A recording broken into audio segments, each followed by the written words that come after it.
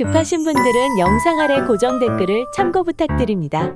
안녕하세요. 여러분의 비상금 해결사 러시뱅크입니다. 오늘 영상에서는 소액결제 현금화 방법에 대해 자세히 알려드리려고 하는데요.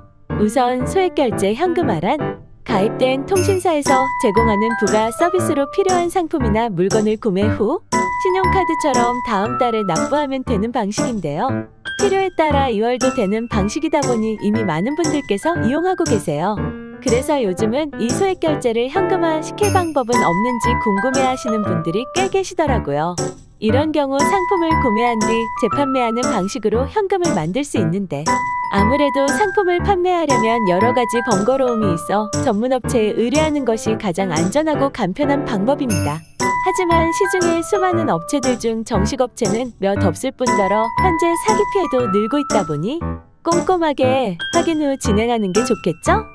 저희 러시뱅크는 이미 3년 이상 운영된 정식 등록 업체로 24시간 친절한 상담사가 대기 중이며 이미 수많은 노하우로 어떤 정책도 처리 가능하니 먼저 상담 받아보시는 걸 추천드립니다.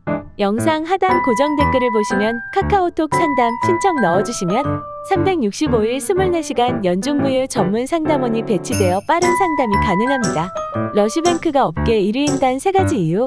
빠르다. 문의부터 입금까지 단 5분 안전하다 한국상품권협회에 등록되어 3년 이상 운영된 업체로 유명하죠? 간편하다 복잡한 절차 없이 간편하여 많은 분들께서 이미 이용하고 계십니다. 여러분의 비상금 해결사 러시뱅크